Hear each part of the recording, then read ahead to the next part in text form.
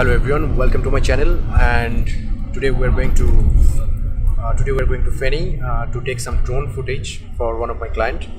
So as I don't have my personal drones I, ha I have hired one drone pilot with one drone. The drone we are using uh, today is uh, the DJI Phantom 4 Pro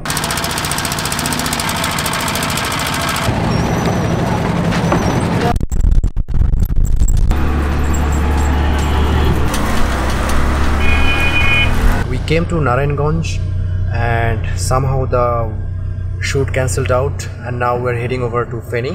So let's let's go. How it works out. So uh, we have reached at Feni and we're heading over to our location where we are going to take those drone footage